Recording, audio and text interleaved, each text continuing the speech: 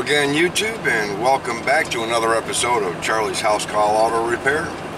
Today we're heading out to a uh, brake job on I believe a 2003 Toyota Corolla. A little bit of uh, scraping and metal to metal noise in the front end. And just a little note to all you viewers out there, if you hear noises coming out of your car, any noises, go see a mechanic, find out what the noises are because when you're grinding things down to nothing, it's going to get expensive.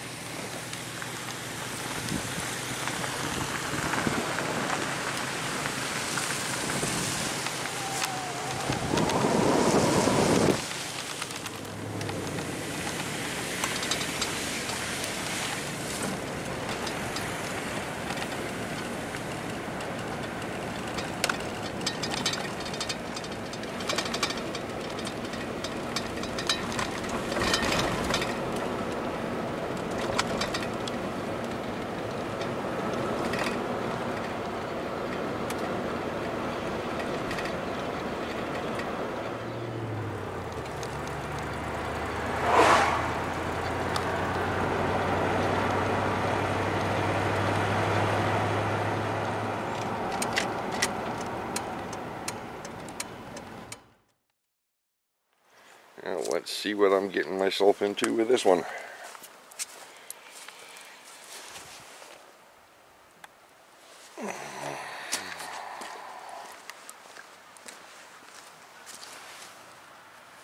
Uh, we see a little bit of rotor gouging in there.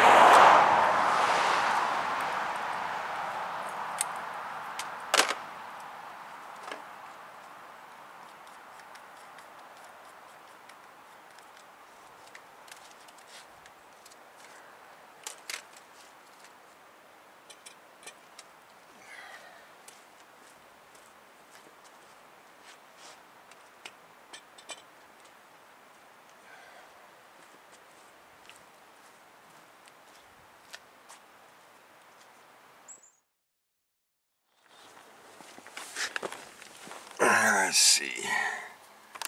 We've got 193,433 on the clock. 61 degrees.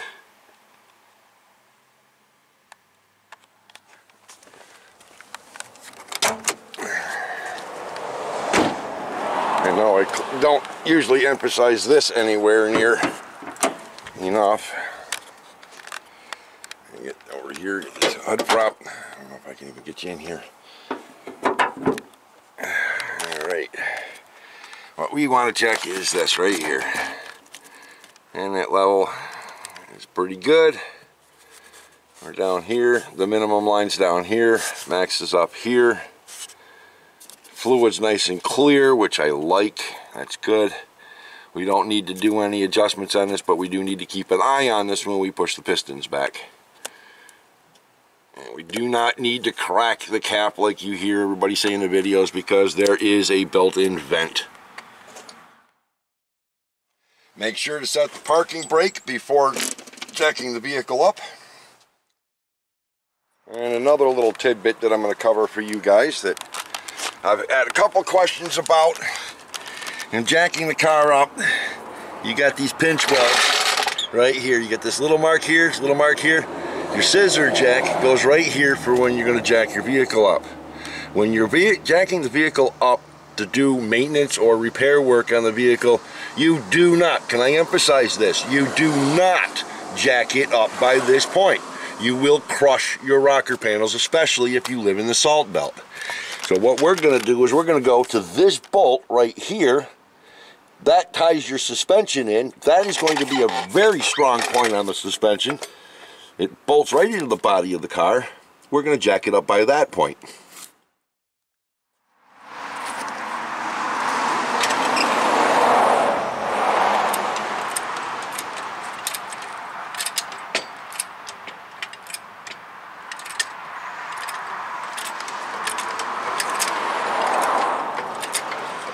Waiting for this jack to fail. This jack's 20, 25 year old Craftsman. You're gonna see 951043, I believe is the part number. Uh, you know, 9501 something something, it's missing. I gotta get a rebuild kit for it. It's getting a little lazy. It's supposed to be a two stage and it only works one stage now. But we're gonna get the tire about two, three inches off the ground. Take a jack stand and put this underneath the car. Now as far as getting the jack stand underneath the car, got your suspension, your subframe. We're going to set this right underneath the subframe, right there, and then we're going to lower the car back down on it.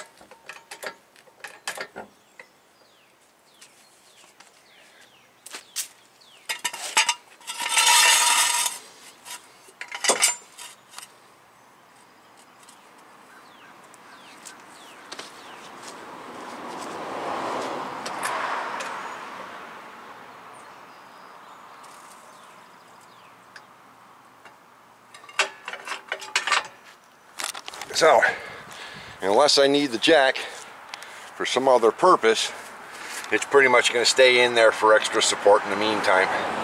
Now we got to get these lug nuts that have already loosened up off the car.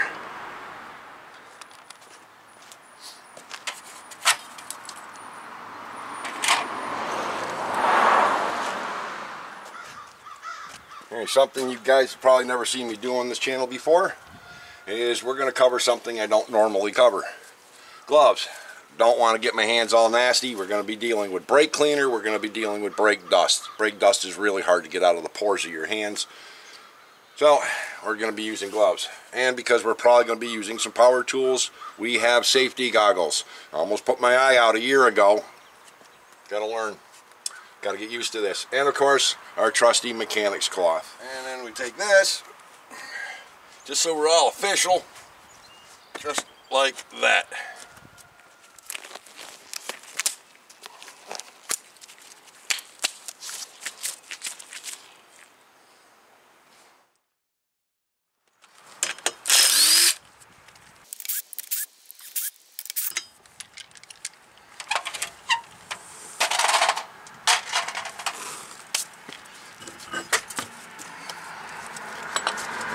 Recommend putting the tire underneath the car for extra safety. Uh, little metal, metal to metal. Yeah, there's no brake pad left in there.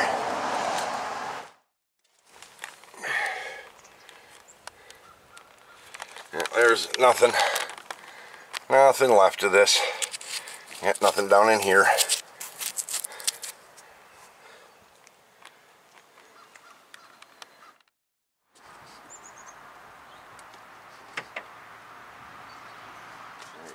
Take the two caliper pin bolts out. And if they're in there too hard to move, double wrench method makes really, really easy.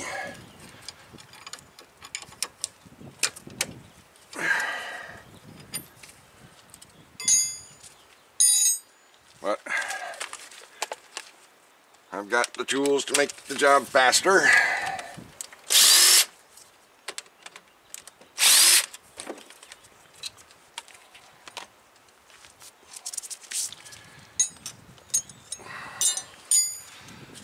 C-clamp. Back that all the way off.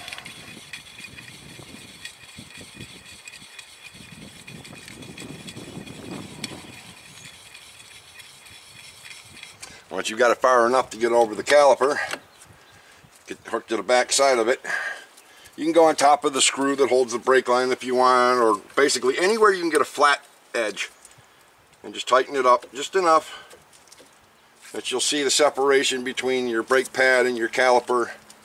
And at the same time, it'll help you to evaluate if you got a problem, and I can guarantee you, we got a problem. This thing is being very, very, very stiff. But the idea here is just to back it off enough that you can separate it from the, the bracket and the rotor. Oh, crusty and wet. Okay, we may have a brake problem here. Everything's all wet, so we're to go get the uh, pet trainer, get that underneath here, and we're to start cleaning this all down and we're to look for some leaks.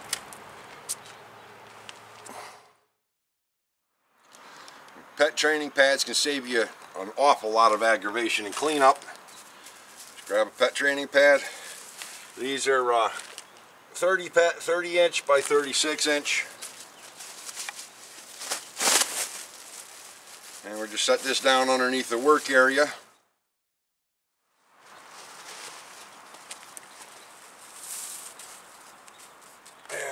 C-clamp, hold it down.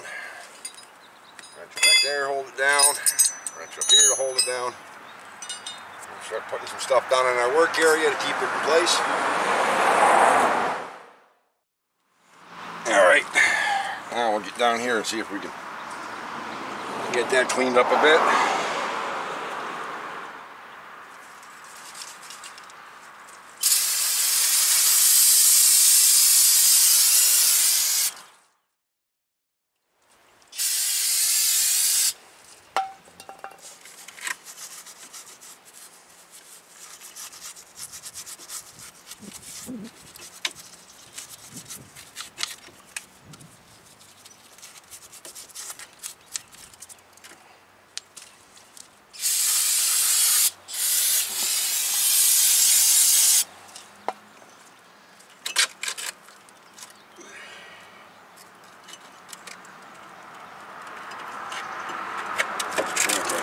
let this dry now.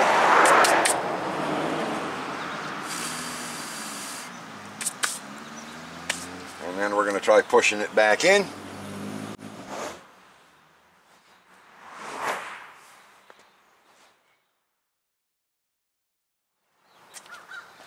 And we're going to come in here with our Lisle dual piston retraction tool and use these on singles as well as doubles. You just set them off center instead of in the middle.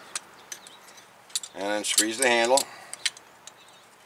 And it'll park against the, piston and you can start pushing the piston back in. If you run into a problem where you have to put excessive amounts of pressure on the piston to push it back in, and chances are there's probably rust around the piston or the bore that's preventing you from pushing it back in.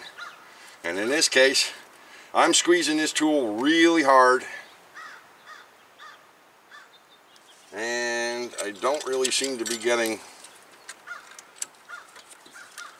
any uh, Well, I'm actually bending the tool a little bit. This piston's not going back in. So, we're going to show you something a little bit different today.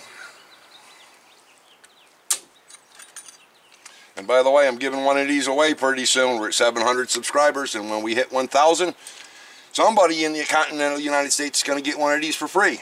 Look in my previous videos for the uh, video where I introduced this tool and uh, make the number one most popular comment. And when I hit 1,000 subscribers, that'll be screen captured and you'll be awarded one of these tools.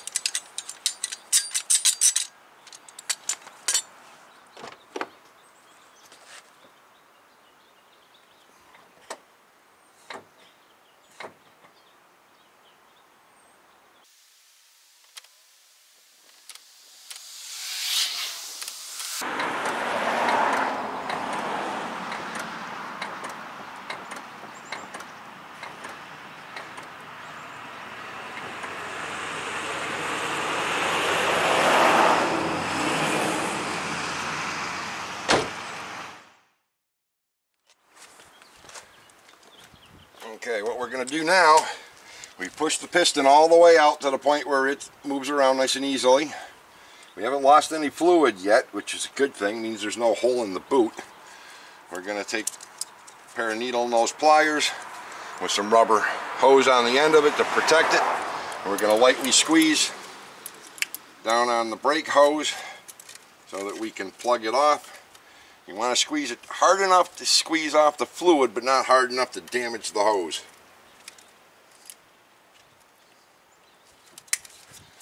And then got a 14 millimeter wrench on the screw that holds the brake line on.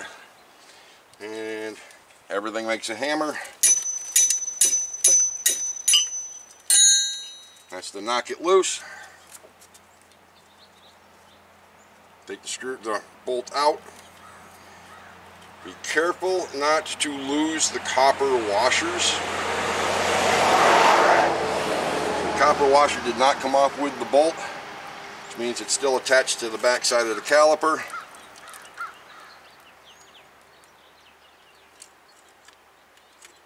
Okay, in this case it's not a copper washer, it's a tin washer. And it is present.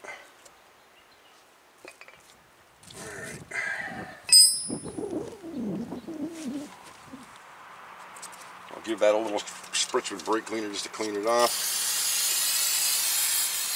If we're going to be reusing that, I'm not going to disturb those washers. I'm just going to leave them right there. We don't have new ones to put on, so. All right, now, let's get to, oh, brake fluid. That's why all the brake fluid in there is clean. It's because it's been replenished regularly. And I have to go mop this up. You have an old mechanic's cloth or your sister's shirt or you know whatever you got laying around. Actually kidding I wouldn't really recommend using your sister's shirt. I might but you shouldn't. Alright now all of this is going to get on the pet trainer will not soak through it. So what we're going to do now I'm going to turn this around. To, oh look at all that rust. That right there is why our piston was being a stinker and not wanting to go in.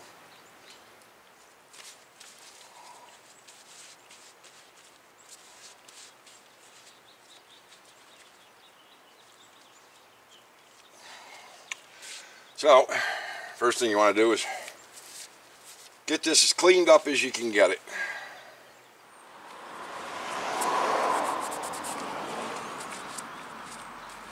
Now, this right here warrants replacing the caliper because there's no way I'm going to be able to clean this up enough to keep it from leaking during normal use.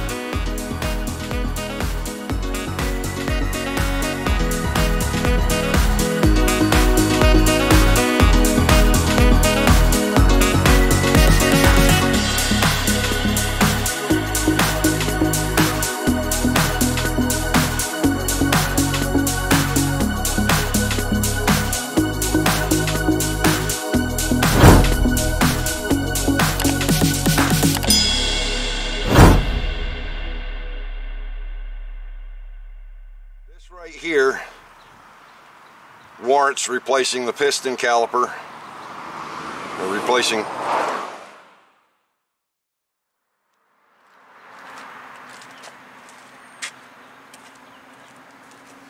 pet training pads. Gonna save you a lot of aggravation.